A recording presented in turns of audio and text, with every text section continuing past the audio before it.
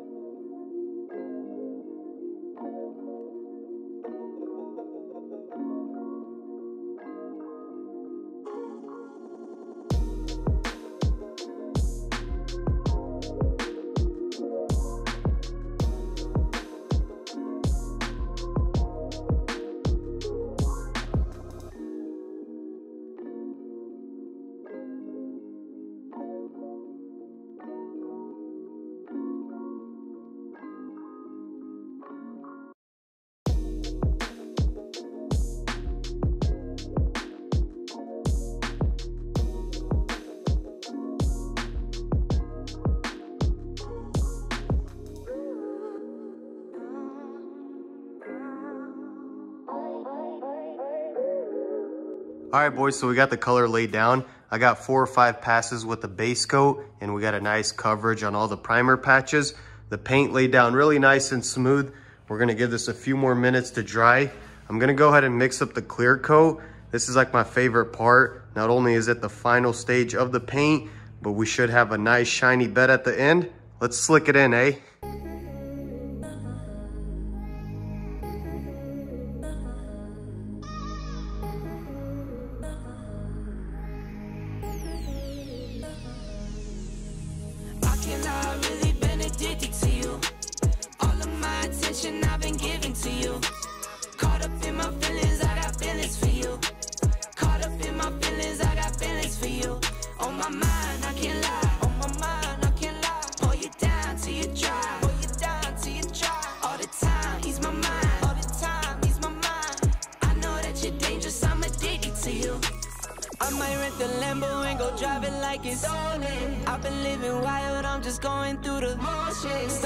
The Uber, grab my hand, gave me a notion. Swimming in your water, but it feels just like the ocean. I can't lie, I've really been addicted to you.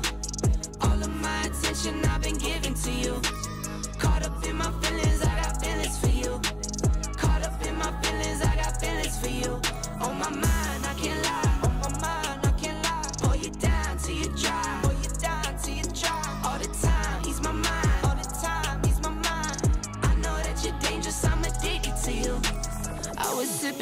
for two years straight to the face. Champagne belly bubble still won't go away.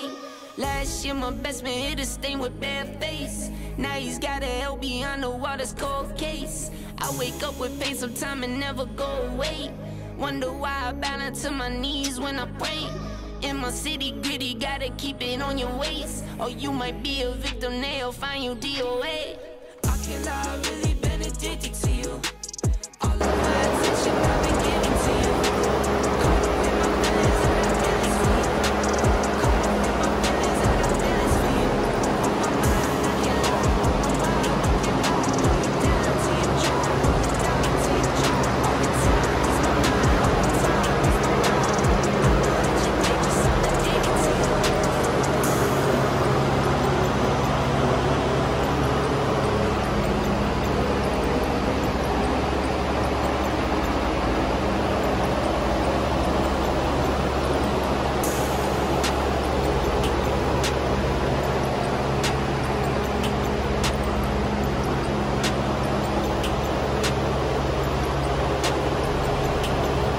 All right, guys, so next day here, the bed is nice and dry.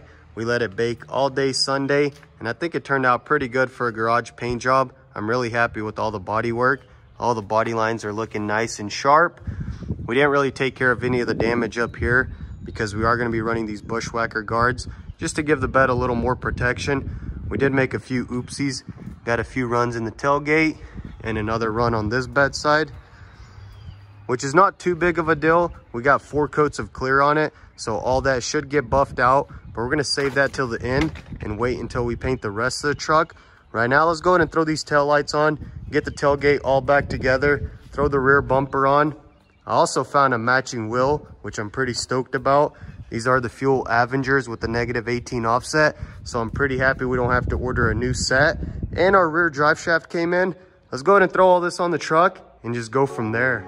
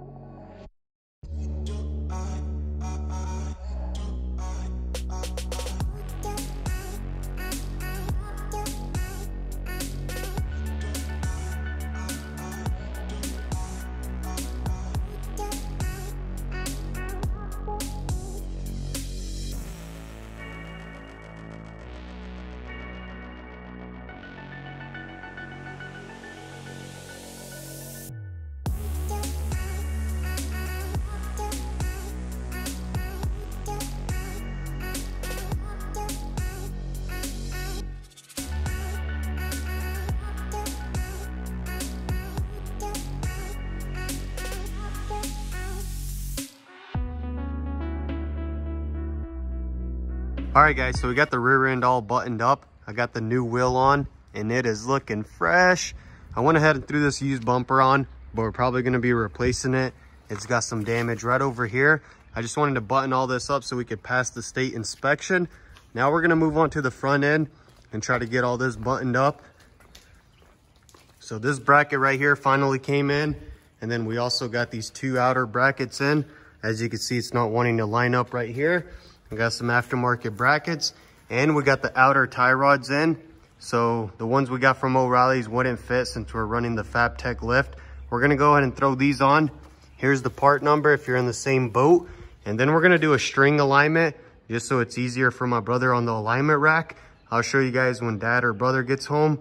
It takes two people. For now, let's go ahead and pop this bumper off, get these brackets replaced, and then we'll move on to the interior install our airbag module and seat belts, and we'll be good to go.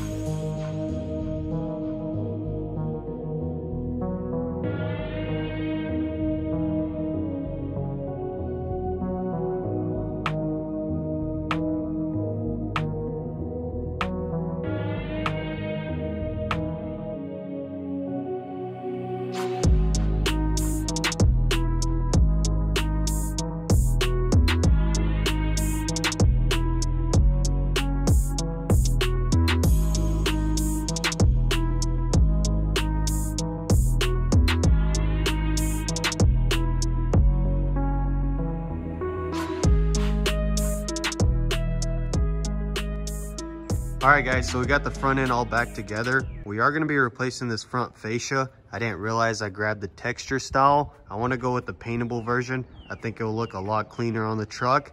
I went ahead and installed the old lower valence just on zip ties, uh, just to complete the bumper a little bit.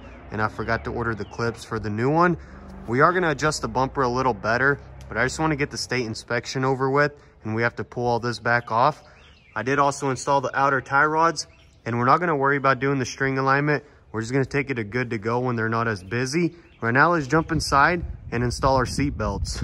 So before we get this airbag light cleared, I wanna give a huge thanks to today's sponsor, My Airbags. We've used them for a very long time and they saved us a ton of money rebuilding these cars. They do it all from your SRS module, your ABS module, the seat belts, and they can even reprogram your car mileage on the cluster. So check them out. All their info is in the description. Also, give them a follow on Instagram and throw in a Danny TV comment or something. Now let's get back to it.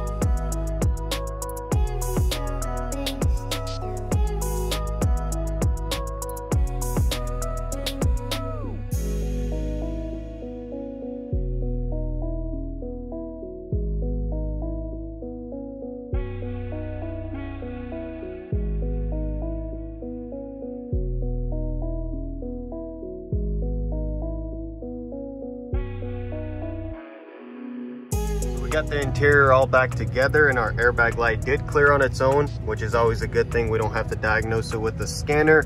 We got some ice cold AC blowing out in this beast. Now I'm gonna run to O'Reilly's and swap out the sensor real quick and maybe clear some of these other lights. So we picked up our ABS sensor. O'Reilly's did have it in stock, which always comes in clutch. Now let's get it installed.